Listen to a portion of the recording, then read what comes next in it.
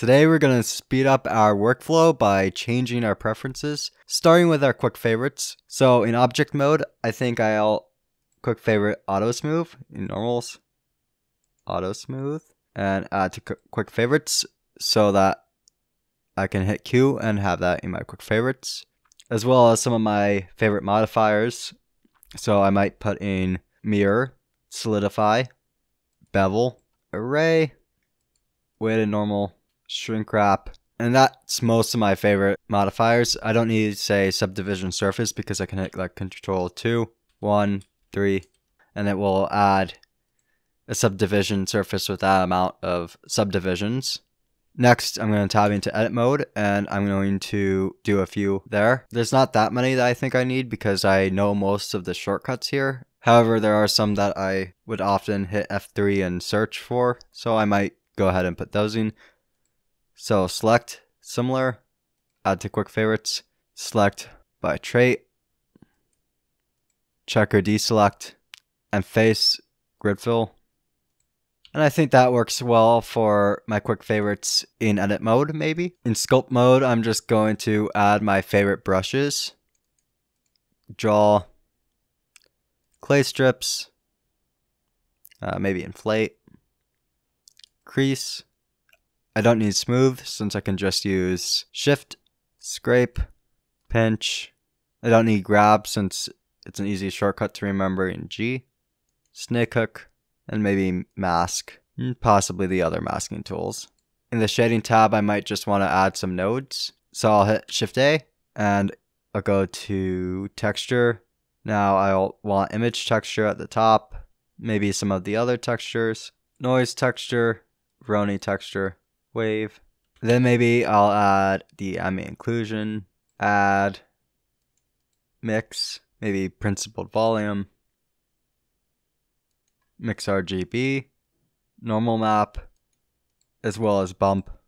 And under converter, color ramp. And under vector, I'll maybe add mapping. And that should be good for now. Now we can go back to the edit preferences. And I already did this one because it's good for tutorials. I raised the resolution scale from 1 to 1.2 to make everything a little bit bigger.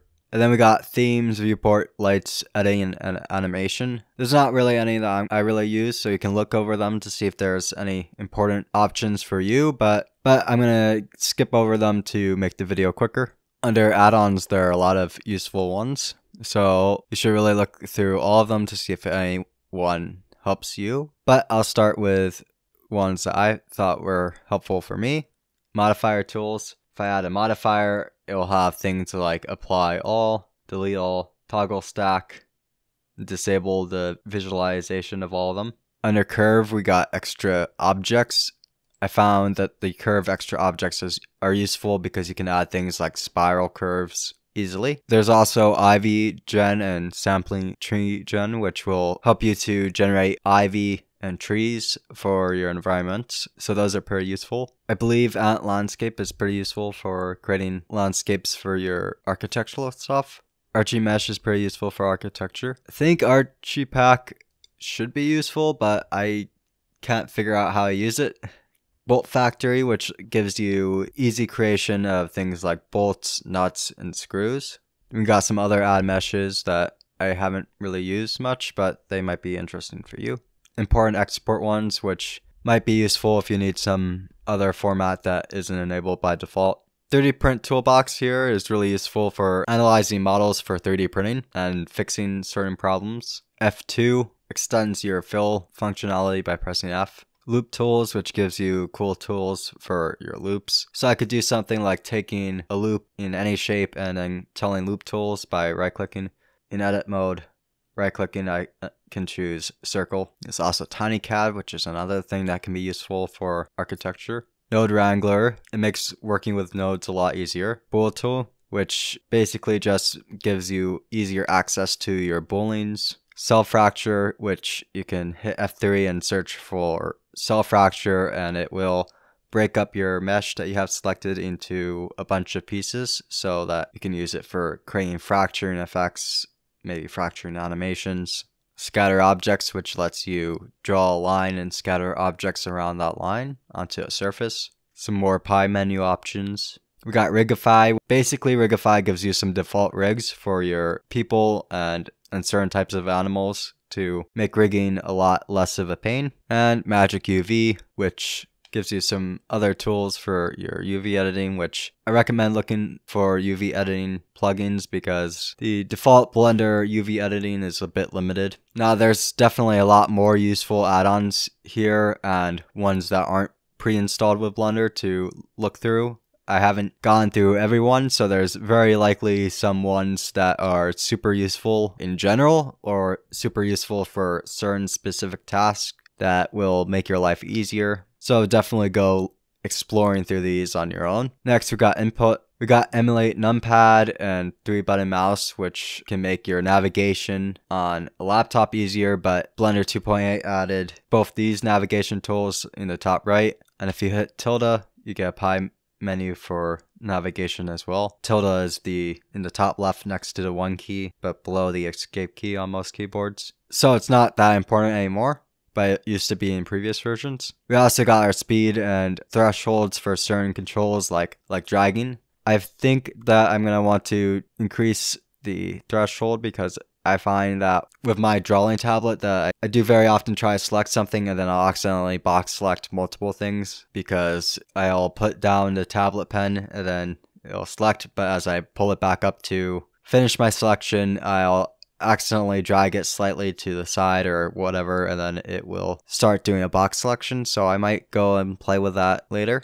Under navigation, we got some useful settings. We got orbit around selection, which will make it so that when you rotate around the view, that you would go around whatever you have selected. I'm more used to using lock to 3D cursor in view. But both of these options are good. Under key map, we have our keyboard shortcut settings.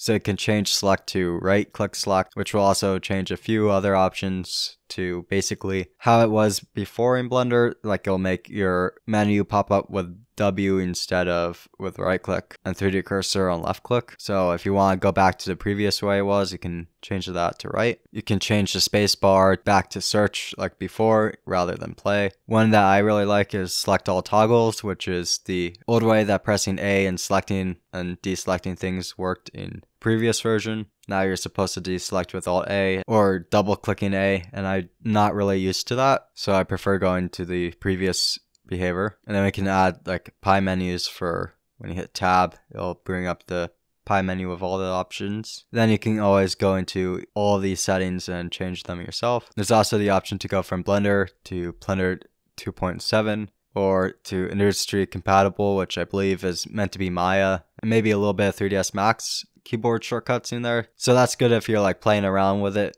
switching from 3ds Max or Maya. But I would generally suggest going to the Blender shortcuts because I think they work a lot better in Blender than the shortcuts for the other programs. Under system, we got some good settings like the amount of undos that we have and the memory limit for undos. I'm going to double the amount of undos because occasionally I really mess something up. So let's just make sure that I have plenty of undos. Now we got our CUDA and OpenCL options. So if you got a NVIDIA graphics card, you can use CUDA, and if you have AMD, you can use OpenCL. I have a GTX 1060, so I'm going to use CUDA. You can also enable your processor as well so that you can render with both of them at the same time. I'm going to leave that off. We got save and load settings, so you can change like your autosave settings and how many previous versions that you have for your older versions. You get like your blend 1 and blend 2 and stuff. And like how many recent files you'll get if you hit Control Shift O. You also got compressed file, which you can enable to make your blend files a bit smaller. So that's going to be our preferences. Now we got some startup file things. I don't really feel the need to having both a layout and modeling tab, so I'm just going to get rid of the modeling tab. And then I'll rename this to layout slash modeling. And then in solid mode, I'll enable random colors as well as in wireframe mode so that I can tell between different objects a little bit easier. And I'll also add in cavity, which will make it a little bit easier to see small changes in our mesh. And then I can go to file, default, save startup file, and this will save this file as my startup file. It's not a horrible idea to save this somewhere else as well by hitting Control Shift S to save it somewhere else just in case. So this was Mr. TriPie. If you liked this video, please like and subscribe to help my channel grow. Thank you.